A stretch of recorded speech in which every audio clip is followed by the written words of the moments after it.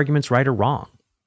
Finally, at one point in the review, Destiny admitted where his argument was weakest and needed to be improved, specifically on the nature of consciousness and what gives us moral value, what makes human consciousness unique and thus deserving of special protection. There's one thing that's really hard to explain. We went back and forth on it for a while.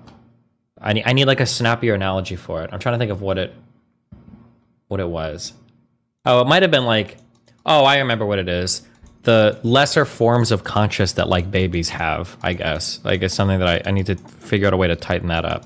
I then noticed under the video, one of his commenters brilliantly summarized the fatal weakness in Destiny's argument. He writes, I think the lack of clarity on what exactly makes human consciousness different is the weakest part of your position, because it puts you in a bit of a dilemma.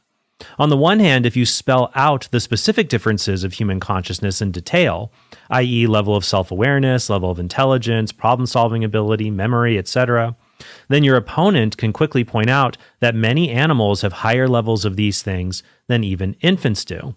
If that were the case, then the consciousness argument entails that adult pigs are more worthy of protection than very young human children, which strikes most folks as absurd. On the other hand, if you simply say that it's merely the fact that it's a human consciousness that gives it rights, then it seems like you're endowing some sort of essence to what it means to be human, which makes that conscious experience worthy of protection. In this scenario, it doesn't seem like it's consciousness that's doing the moral work since that does nothing to create animal rights. It seems like it's humanness that is doing the work. But if it's humanness that endows rights, then the pro lifers are right that such rights would logically begin at the beginning of the life of that human organism. I'm not sure that you need a new analogy. It may be that this is just a fundamental weakness in your position. Either human beings are innately special, or consciousness is innately special, or both are special.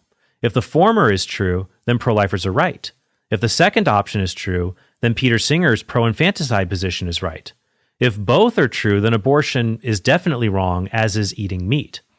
I don't know that a middle position like what you hold is really a viable option. End quote. I agree, which is why I said of all the pro choice views out there, Destiny's is one of the least logically coherent, though he tries very hard to be coherent. Now, he did say that at worst, his view would just be modified to include infanticide.